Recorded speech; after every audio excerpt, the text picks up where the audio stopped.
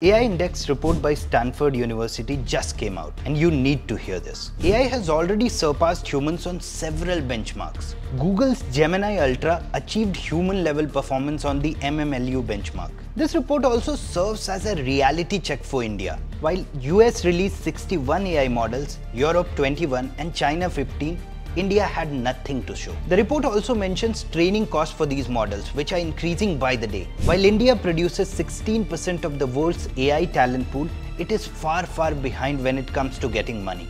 Data tells us that AI makes workers more productive and to India's advantage, our AI skill penetration is 3.2 times the global average. But we still lag heavily in research and innovation. India's total share of AI patents is 0.2%. India immediately needs research funding, corporate academic partnerships and fewer bureaucratic hurdles from the government. Else we'll lose this AI race big time.